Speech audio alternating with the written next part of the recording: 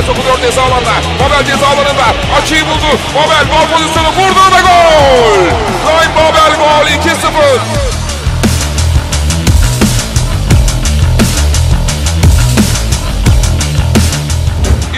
Beşiktaş'ı Yöneldi. Uzak noktadan geriye doğru. Şimdi